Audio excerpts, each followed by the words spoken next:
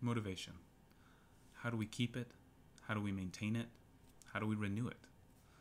I'm Jonathan Udoka, and I'm a member of the Young Professionals of Stillwater Board.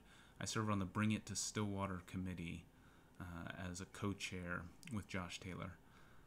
As young professionals, we have lots of things to manage relationships, time, money, priorities, the list goes on. For me, motivation to stay on task and get those things done can come in the form of putting those things into a plan. It sounds simple, but it's effective.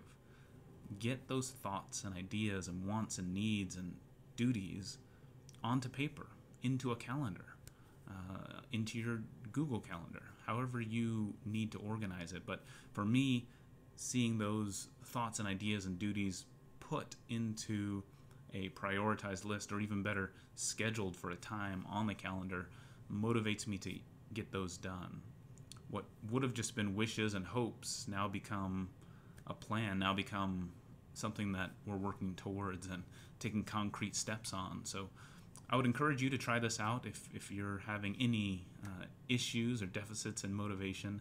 Uh, try just writing it down, making a plan, and taking it step by step.